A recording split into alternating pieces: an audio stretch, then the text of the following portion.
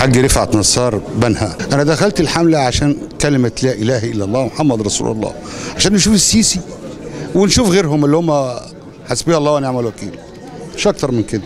وعاوزين نأدي إيه، ننتخب رئيس بيحب بلده ويحب شعبه الفقير ويحب الفلاح اللي في القرية واللي في النجع ويكون عنده إحساس بيهم إحساس داخل من من من, من قلبه للناس دي يحب التعليم.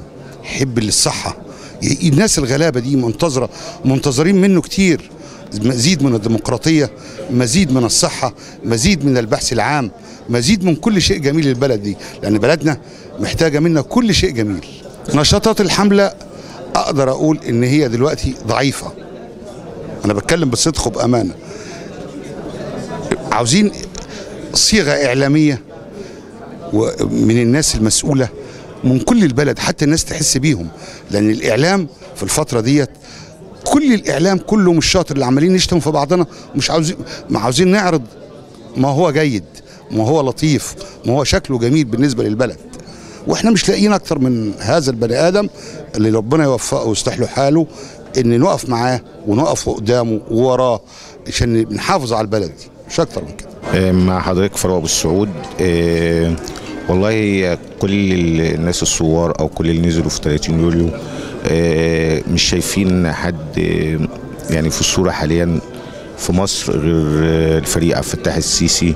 مش كونه إن هو المتواجد حاليا لأ كونه إن هو ال- ال- دي شجاعته آه، لوقفته مع الشعب ضد ال- الإخوان فده جعل في حب بيننا وبينه جعل في تقارب بيننا وبينه. حاليا آه، إحنا ليه بنلجأ له كهو كقائد في المرحلة القادمة؟ لعدم يعني خلينا صراحة ما فيش حزب منظم في مصر حاليا. يعني لا داعي لذكر أسماء آه، ما فيش آه، شخصية آه، كل الشخصيات يعتبروا وظهروا وما أعطوش ال- ال- الصورة ال- ال- الكويسة للشعب المصري. فإحنا شايفينه إن هو القائد هو البطل. آه، المرحلة دي مرحلة آه، عايز رجل قوي. فهو رجل المرحلة القادمة. إحنا أنا اشتركت في الحملة آه، يعني تبرعا حبا.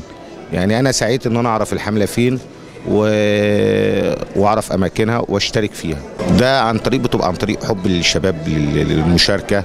باتصالات بين شباب محبين للفريق عبد الفتاح السيسي بدون آه، يعني لا تندرج تحت أي حزب أو تحت أي جماعة أو الكلام ده كله. آه، زي تمرد. تمرد برضو اشتغلنا فيها. ما كانش فيه آه، ما كانش تندرج تحت أي حاجة. فهي نفس النظام يعني. حاليا في الفترة الحاليا يعني ممكن لو ظهر على الساحة حد تاني. بس ممكن إرادة الشعب يعني تجبر الفريق الفتاح السيسي إن هو يترشح. أصل دي إرادة شعب. هو مش هيقدر آه، زي ما ما قال لنا حاضر المرة الأولانية يقول لنا حاضر المرة الثانية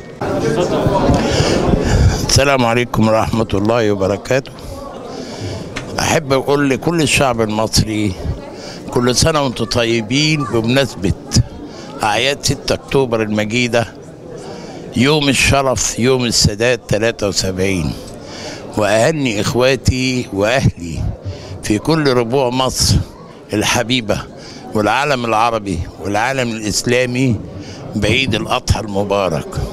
لي قصيدة بسيطة بقولها يا مصر قومي امسحي أحزانك عيد الأضحى هل عشانك كل ولادك لابسة جديد شوف إزاي الكل سعيد.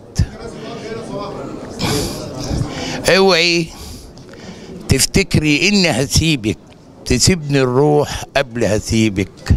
شيلي إيدك من على خدك. ده انت يا غالية محدش قدك.